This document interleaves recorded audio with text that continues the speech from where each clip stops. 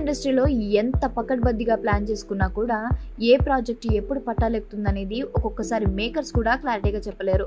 అయితే ఆయా ప్రాజెక్టుల గురించి రకరకాల పుకార్లు మాత్రం ఫిల్మ్ సర్కిల్స్లో మీడియాలో షికార్లు చేస్తుంటాయి. ఇప్పుడు అలాంటి న్యూస్ ఒకటి సోషల్ మీడియాలో చక్కలు కొడుతుంది. ఐకాన్ స్టార్ అల్లు అర్జున్తో అనౌన్స్ చేసిన ఓ క్రేజీ ప్రాజెక్ట్ ఉస్తాద్ రామ్ పోతినేని చేతిలోకి వెళ్ళిందని వార్తలు వస్తున్నాయి. తర్వాత బన్నీ బోయపాటి శ్రీల కాంబినేషన్ సరైనోడు. మరోసారి రిపీట్ కానుందని న్యూస్ కూడా వినిపించింది. లింగస్వామితో చేస్తున్న ది వారియర్ తర్వాత బోయపాటి డైరెక్షన్లో రామ్ పాన్ ఇండియా సినిమా రీసెంట్గా అనౌన్స్ చేశారు. ఆ cinema icon.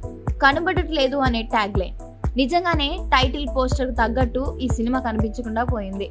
Dil Raj banner ద్వారా ఓ మై ఫ్రెండ్తో డైరెక్టర్గా డైరెక్టర్గా ఇంట్రడ్యూస్ అయిన వేణు శ్రీరామ్ తర్వాత నానితో అదే బ్యానర్లో ఎంసీఏ చేశాడు. బన్నీతో ఐకాన్ అనే సినిమాని ప్రకటించాడు.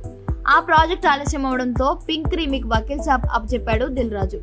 పుష్పతో పాన్ ఇండియా లెవెల్లో సూపర్ హిట్ కొట్టిన బన్నీ సెకండ్ పార్ట్కి ప్రిపేర్ అవుతున్నాడు. కానీ ఎక్కడా ఐకాన్ అప్డేట్ లేదు. దీంతో ఇంకా ఆలస్యం అవుతుందేమోనని రామ్ని హీరోగా పెట్టి ఐకాన్ మూవీ ప్లాన్ చేస్తున్నారని తెలుస్తుంది.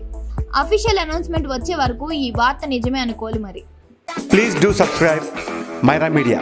Please subscribe Myra Media. Subscribe to Myra Media. Please like, share, and subscribe to Myra Media for lot of film news, gossips, and hot hot news. Please like, share, and subscribe to Myra Media. For more interesting updates, please subscribe to Myra Media YouTube channel. For more updates, please subscribe to Myra Media. So like, share and subscribe to Myra Media.